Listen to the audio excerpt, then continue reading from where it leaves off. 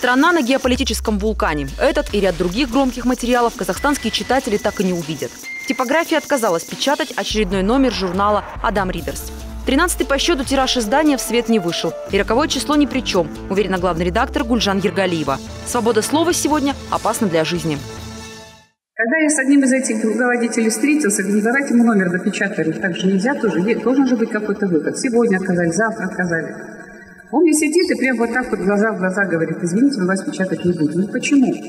Ну простите, у нас же дети, у нас же семьи, у нас же вот такая ситуация, мы же дальше жить хотим. Журнал «Адам Ридерс» отказались печатать уже в 24 типографиях. Помимо печатного издания, сайт Гульжан Ергалиева и Нурадам регулярно блокируется, а портал Гульжан.орг не могут вновь открыть с начала мая. Никто никогда не признается, что идет э, уничтожение независимых оппозиционных изданий не по закону, а по общему содержанию издания. Так бывает.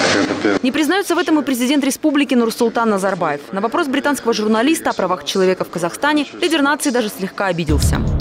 Что касается прав и свобод человека, я считаю, что Казахстан их обеспечивает. У нас нет политических гонений, у нас есть выборы президента на альтернативной основе, у нас три политических партии в парламенте, у нас работает оппозиция. Я вас попрошу, пожалуйста, вы здесь находитесь. Почему? Потому что следственные действия проводятся. Вот. Лукавит президент или просто не в курсе ситуации вокруг оппозиционных и независимых СМИ – вопрос уже другой. 2013 стал годом репрессий свободной прессы в стране. После обысков и ареста имущества свое существование прекратил видеопортал «Стан». Закрыли газету «Взгляд». С изданием «Голос республики» эпопея вообще затянулась на несколько месяцев. Оппозиционных журналистов обобщили в единое СМИ, где ключевым в названии стало слово «республика». Запретили. Затем был «Репаблик», та же участь. Была Татьяна Трубачева, главный читатель издания «Репаблик». Наказали. Ситуация сложилась так, что нам не нужны иные СМИ.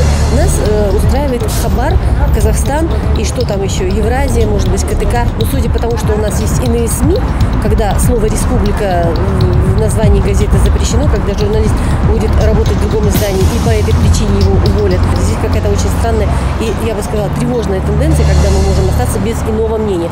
В рейтинге свободы прессы Казахстан занимает 160 место. Аккурат между Руандой и Пакистаном, сравнение с которым Назарбаев так не любит.